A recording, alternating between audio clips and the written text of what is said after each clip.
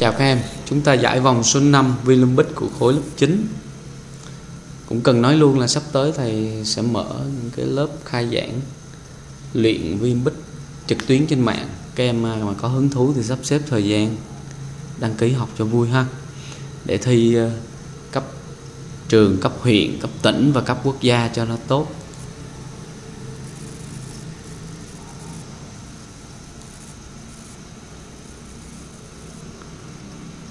Bài thi số 1 À mới vô đụng cái này rồi, ghê quá. Được. Tái nháp vẽ hình liền.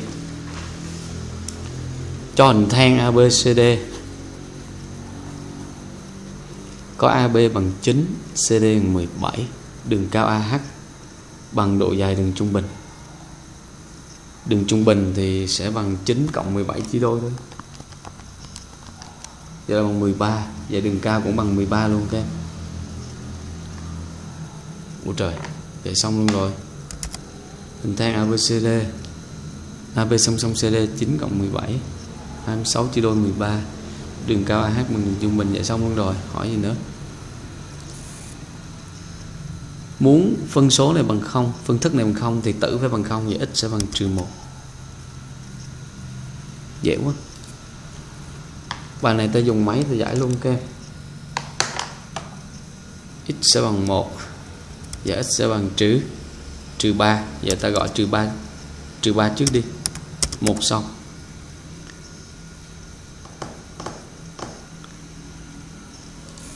Giải phương trình này Thì 3x cộng 1 sẽ bằng 16 3x cộng 1 mà bằng 16 Thì 3x sẽ bằng 15 Vậy x sẽ bằng 5 5, 3, 15 cộng 1, 16 căn 16 14 đúng rồi. Câu số 5 Cho tam giác ABC Vuông ở A Đường cao AH Bằng 12 Đường trung tuyến AM là bằng 15 Tính diện tích tam giác. Đường trung tuyến AM bằng 15 Thì cạnh huyền sẽ bằng 30 Cạnh huyền gấp đôi đường trung tuyến em nhớ. Rồi lấy cạnh huyền nhân đường cao tương ứng chia đôi. 30 nhân 12 chia đôi là ra diện tích tam giác là 180 ha. Giá trị nhỏ nhất, ta dùng máy tính luôn.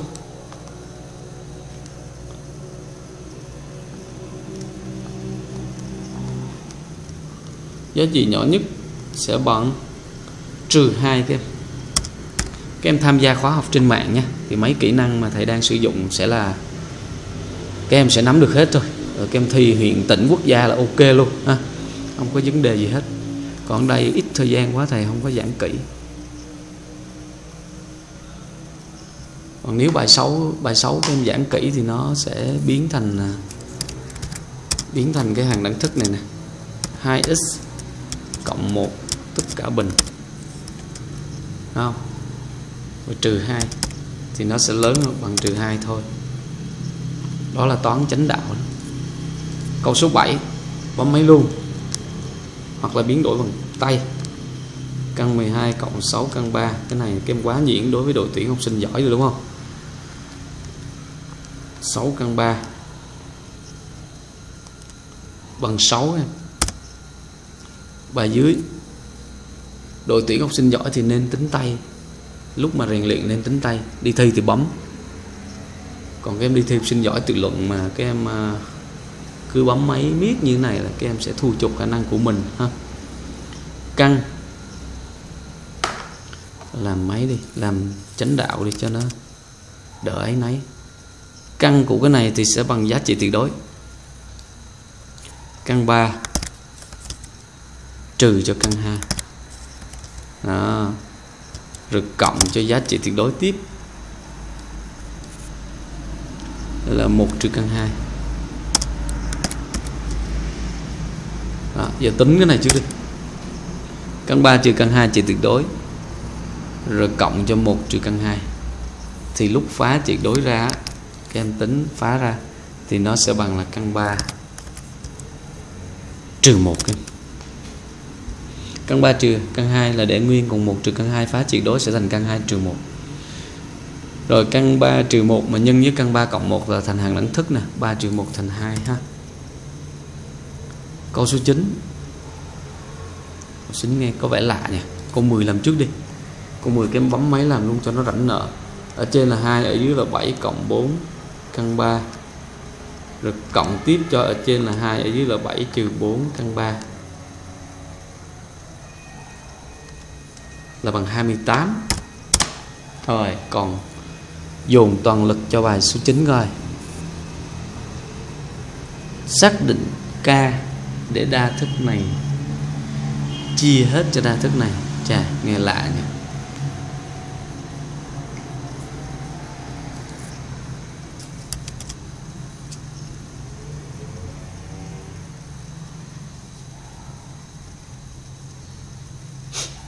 Rồi, bây giờ cũng đơn giản thôi, không có gì đâu đừng có sợ em giờ x mũ 3 cộng cho y mũ 3 cộng cho z mũ 3 rồi cộng cho k, x, y, z. Nó sẽ bằng gì?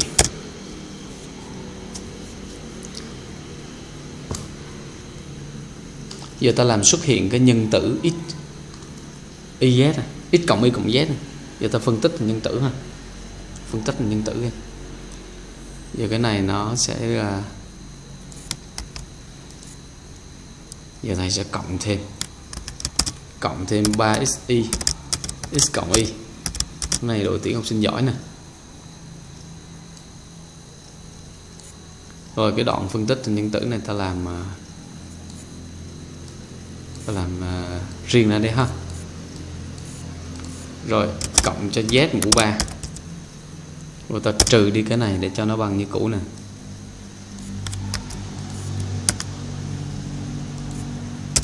Ừ.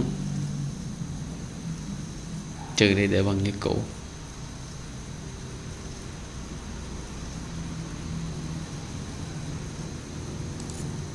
Rồi cộng cho KSZ như vậy lúc đó, cái này sẽ biến thành là, sẽ biến thành là x cộng y tất cả bình, sẽ là tất cả mũ 3 cái này.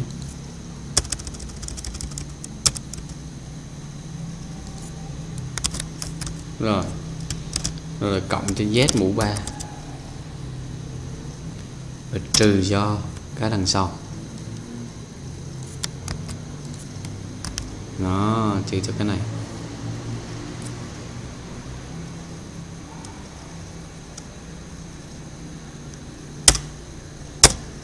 Đúng ta. X mũ 3 rồi, cộng vô, cộng 3 đi, trừ 3 đi. Rồi, ok. Cộng z mũ 3 cộng k đi z. Rồi, thầy không sót gì hết. Giờ cái này các em sẽ phân tích được thành nhân tử nè x cộng y tất cả mũ 3 cộng z mũ 3 là tổng hai lập phương đó. Thì nó sẽ bằng là x cộng y cộng z cộng với bình phương thiếu của hiệu y, y xèo luôn ha. Tức là cộng nhân với quy đi. Tổng nhân bình phương thiếu của hiệu thì bình phương thiếu của hiệu đó nó tùm lum hết á thầy gọi là quy đi. Rồi cái đằng sau thầy phá ra. Phá ra thành trừ 3 x trừ 3x bình y.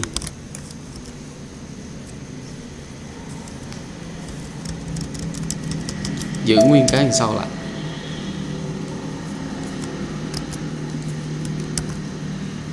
Điều này ra cái gì? Bây giờ thầy sẽ thêm vô. Thầy sẽ thêm vô là trừ trừ 3 x, y, z. Vậy thầy sẽ cộng lại 3 x, y, z. Đó. Để bằng như cũ. Hiểu không? Các em hiểu tới đây không? Tiếp tục. Thầy à, sau này xuống dưới đã. Giờ các em để ý là hai thằng này nè. Thầy sẽ rút trừ 3xy ra ngoài. Làm nhân tử chung thì ở trong nó còn lại là x cộng y cộng z. Đó. Như vậy các em sẽ thấy là gì?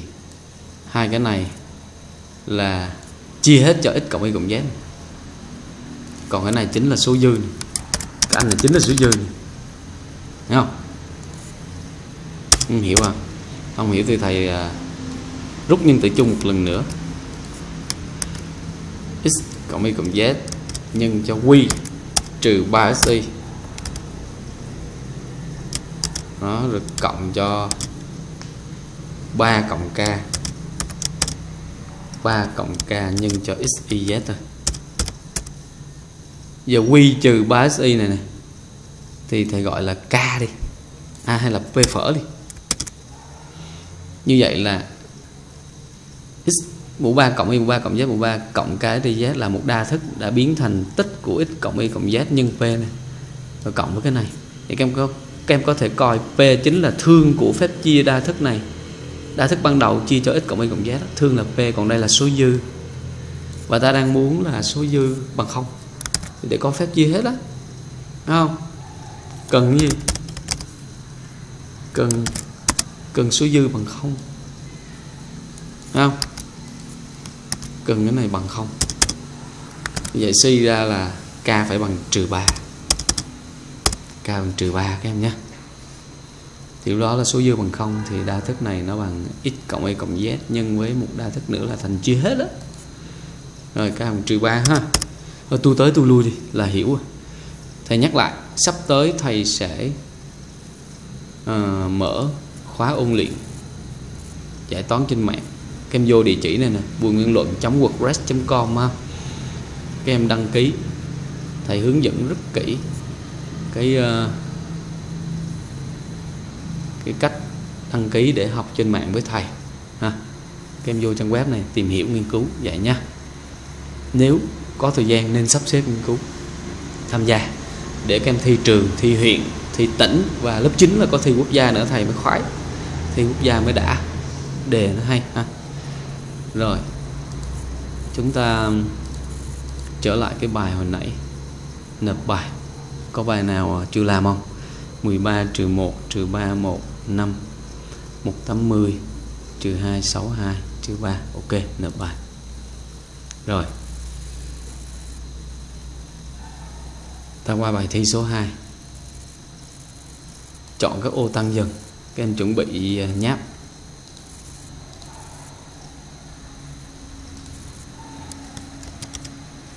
Rồi bấm máy luôn đi, cho nó khỏe.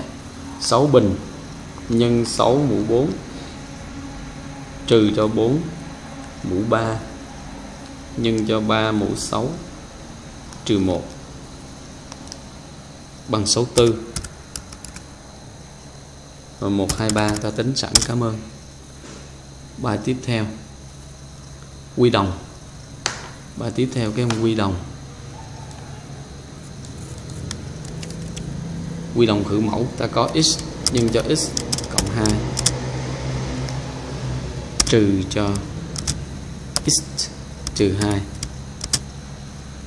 x nhân x trừ 2 x nhân x cộng 2 là trừ 2 bằng 2 giải phương trình này các em. X bình cộng 2x trừ x là thành cộng x. Trừ cho trừ 2 là bằng 0 thì từ đây các em suy ra x bằng 0 hoặc là x bằng âm 1 rồi các em bỏ cái x bằng 0 đi, bởi vì nó vi phạm điều kiện xác định này. điều kiện xác định x phải khác 0 hoặc là x và x phải khác 2 vậy ta lấy x bằng âm 1 thôi. Âm 1 thôi nha. Rồi. Tiếp tục. Tính giá trị biểu thức này thì các em à, dùng máy tính cho rồi. Alpha x mũ 3 trên 8 cộng cho alpha x bình, alpha y trên 4 cộng cho x y bình, trên 6 x mũ 3 x bình y, x y bình 846 rồi cộng cho một cái nữa, y mũ 3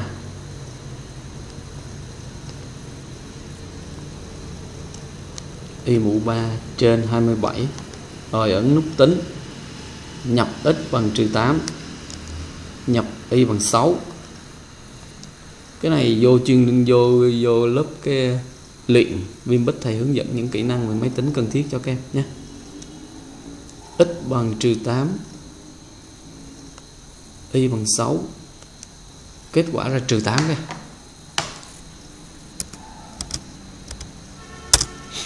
Rồi 45 người ta tính sẵn rồi căn chính là 3 đó, trừ căn 64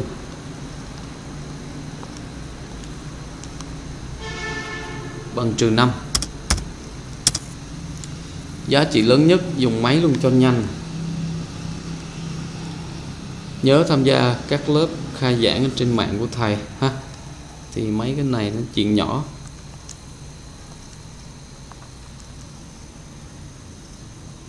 Rồi, giá trị lớn nhất của biểu thức này sẽ bằng trừ 30 bên này, giá trị nhỏ nhất sẽ là bằng âm 7 cái này bấm máy coi chừng bị lừa các em nhé. X là thấp nhất bằng 0 thì lúc đó là 0 cộng 2 nhân 0 trừ 7 là giá trị thấp nhất là bằng trừ 7 còn bài này là hàng đẳng thức rồi x sẽ bằng trừ 6 rồi còn bài cuối. Bài cuối là toán lớp 8 mà. Toán lớp 8 làm hoài mà. Rồi. Các em cộng mỗi phương thức đó cho một. X cộng 1 trên 58 cộng 1 này. Rồi cộng cho copy ra. Cộng cho x cộng 2 trên 57 cũng cộng cho 1 vậy bên trái cộng cho 1 1 là thành hai rồi. Vậy bên phải cũng cộng 2 cho nó về x cộng 3 trên 56 và x cộng 4 trên 55 đó.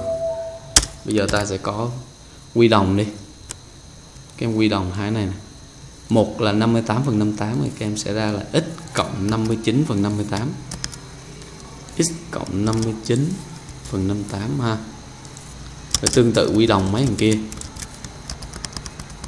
Các em ra giống giống vậy hết á. X cộng 59 phần 57 rồi sẽ bằng x cộng 59 phần 56 rồi x cộng 59 phần 55 vậy thôi. Rồi chuyển hết qua bên ờ, trái đi. Là thành trừ. Trừ bằng 0 tới đây các em rút x cộng 59 ra ngoài làm nhân tử chung ha. Thì ở trong còn 1 phần 58 cộng 1 phần 57 trừ 1 phần 56 trừ 1 phần 55 thì cái đó nó không có bằng 0 như vậy là nhiệm vụ bằng 0 là x cộng 59 nha. Vậy x sẽ bằng trừ 59 vậy thôi. Hoặc nhẩm thấy luôn x bằng trừ 59 thì cái tử bằng 0 hết mà. Xong. Bây giờ ta chọn đáp án. Đầu tiên là âm 59 là cái thằng ta vừa giải xong luôn kia thằng ta vừa giải xong tức thì đó. Là nhỏ nhất. Rồi tới âm 30 đây. Rồi tới âm 8 đây. Tới âm 7 này, cái bài này em nào tìm giá trị nhỏ nhất lớp tớp là sai. Âm 6 âm 5 âm 1 rồi 45 64 và 123 vậy ta cũng thoát qua quá dễ dàng ha. Bài thi số 3 ồ, thỏ dược mê cung. Thỏ dược mê cung. Năm là căn 25 hai căn 6 là căn 24 vậy là lớn hơn. Cái này ta tiến nhanh tới kết quả đi nha. Thầy thầy đi đi có việc một xíu rồi thầy, nít 2 thầy sẽ giải hết các cái ô này luôn. Giờ đi cho lẹ rồi. Năm 12 13 này bộ ba Pythagore quen thuộc rồi. Tam giác này vuông vuông chắc luôn. BC làm cạnh huyền. Pythagore đảo ra liền rồi cái này nó sẽ bằng x trừ y tất cả mũ 3 ha. Thành x mũ 3 trừ 3x bình y cộng 3x y bình trừ y mũ 3 này nó đây. Lớp 8 cũng làm được cái đó, các em, ha. Rồi cái này ta dùng máy tính giải, nếu lười. Còn không thì giải bằng tay, ha.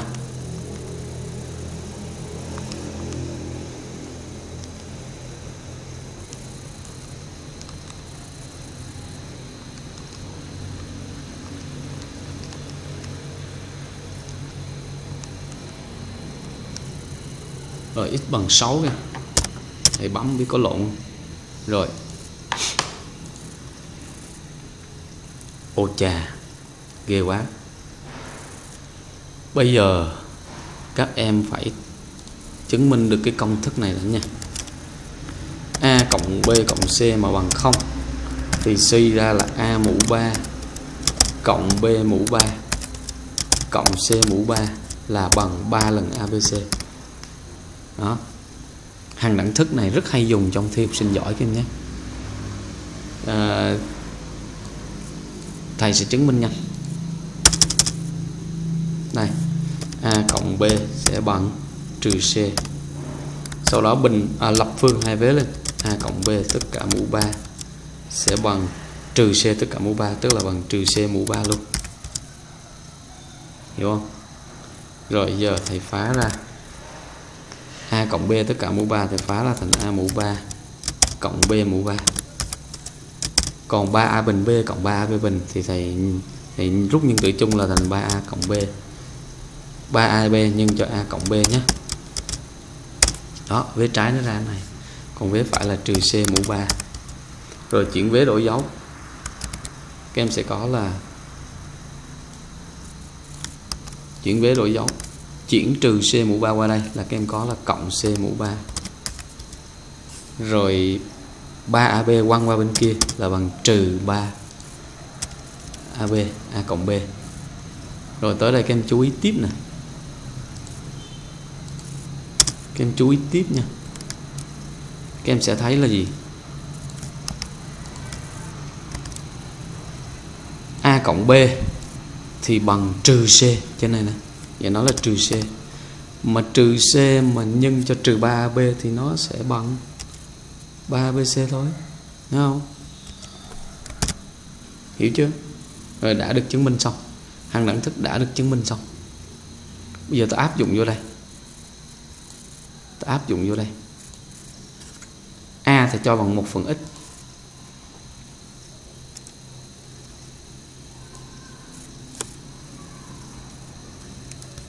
A thì cho bằng 1 phần x cộng cho phân số 1 phần y cộng cho phân số 1 phần z bằng 0 thì các em suy ra là à, a mũ 3 cộng b mũ 3 cộng c mũ 3 là bằng bằng 3bc thì chỗ này nó sẽ ra gì? 1 trên x mũ 3 này cộng cho 1 trên y mũ 3 nè, cộng cho 1 trên z mũ 3 nè, là bằng 3 nhân 1 phần x, nhân 1 phần y, nhân 1 phần z, tức là bằng 3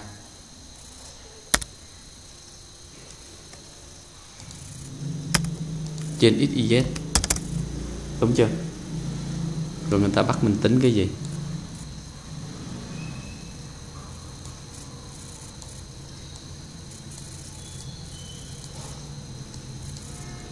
Người ta bắt mình tính cái kia. Tính xy xy trên z mũ 2 kia cộng cho xz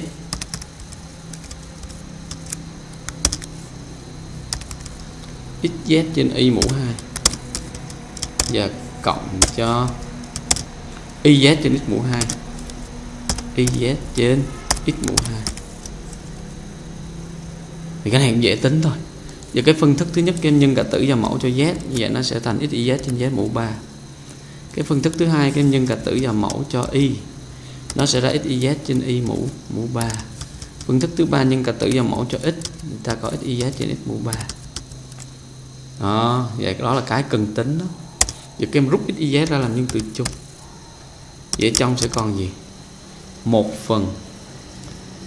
X 1 phần z mũ 3 cộng 1 phần y mũ 3 cộng 1 phần x mũ 3 đúng không? Mà cái đó tao đang tính ở trên đầu. Tao mới tính trên đầu tao để dành trên đó đó. Giờ tao thay vô thôi. Cái ngoặc đơn đó sẽ bằng 3 trên x y z. Và nó sẽ bằng 3 hiểu chưa các em? Vậy bài toán đã hoàn thành. À. đây bài toán học sinh giỏi các em. Khó lắm, không dễ đâu em nào trong đội tuyển học sinh giỏi thì tôi nói thiệt mới làm được chứ. Chứ đội tuyển tay ngang ở những đội tuyển khác mà đi thi Vinbit thì bài này là bí. Hoặc chỉ có làm mò thôi mà mò sao được mò? Bài này sao mò? Mò kiểu gì? Ha kết quả bằng 3 ha. Rồi ở nick số 2 thầy sẽ hứa là thầy giải hết mấy cái này luôn các em nhé. Còn giờ thầy có việc bận thì thì đi một chút. Các em nhớ tham gia các khóa học ở trên mạng của thầy này, nha. Địa chỉ đây buồng luận wordpress.com thủ tục đăng ký học rất đơn giản ha. Chỉ cần các em có điện thoại hay là gmail là các em học được rồi. Tôi thích các em thi đậu vô vòng quốc gia lúc đó làm đề nó mới, hay. Còn mấy cái đề này vẫn chưa đủ khó. Rồi ta nộp bài các em. Rồi hẹn gặp lại các em ở nick số 2 nick số 3 tạm biệt các em ở nick này.